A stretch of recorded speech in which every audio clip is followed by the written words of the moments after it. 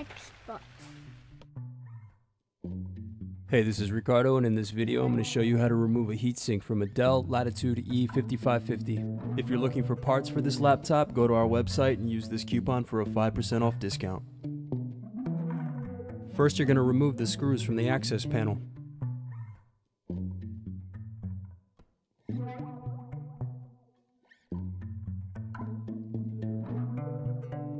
Next, pry open the access panel using a flathead screwdriver. Now you're going to remove the screw from the battery. Loosen the cable and then lift battery from the bottom base. Pry the clips outward until the memory pops up. It's now safe to remove the memory. Now you want to remove screws from the hard drive. Loosen cable and lift the hard drive from the base. Gently unclip keyboard ribbon cable from underneath the battery.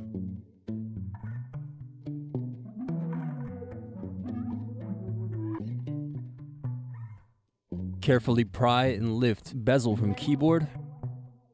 Next, we're going to remove the screws from the keyboard.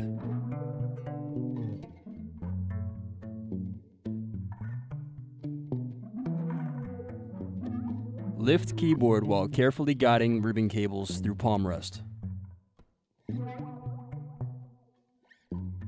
The next thing you want to do is remove the screws from the base.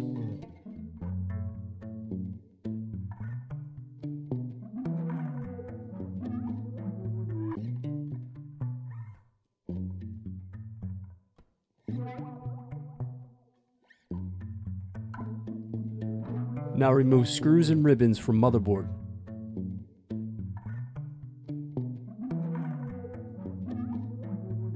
Now gently use your fingers to pry open palm rest.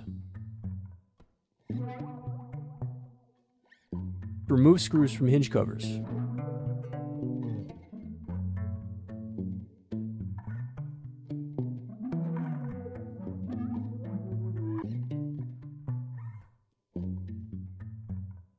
Now you're going to remove the hinge covers.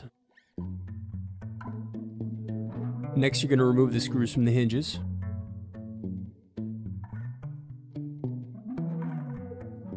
Now remove the screw from the LCD cable bracket.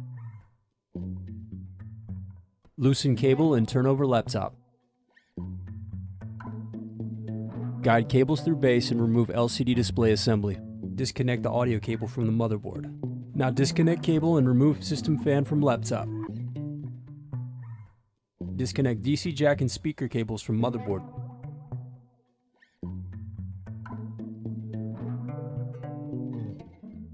Now remove screws and lift motherboard from base.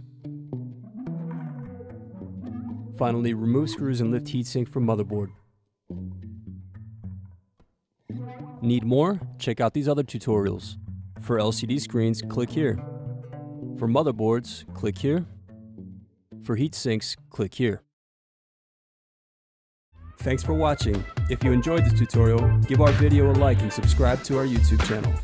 Check out partspeople.com where we have hundreds of tutorials and hundreds of thousands of parts.